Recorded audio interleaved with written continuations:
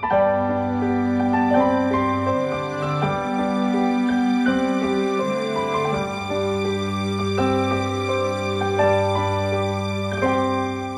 昔は子供の手のひら程度尺にして8センチメートルカセットに録音して歌えて笑えてよかったな。押し入れにしまった長方形のパッケージは色あせても好きだったの音色何一つ変わらないな。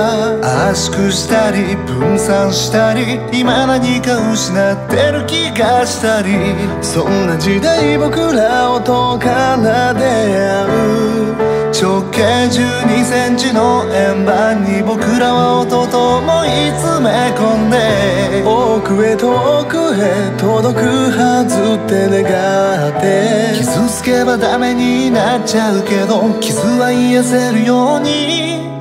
をもどこかでぐるぐると回って